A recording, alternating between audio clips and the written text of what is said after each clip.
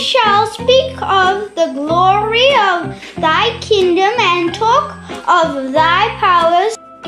There is a frequency in the sound of your voice that will reveal the glory and the power that exists in the kingdom of your God.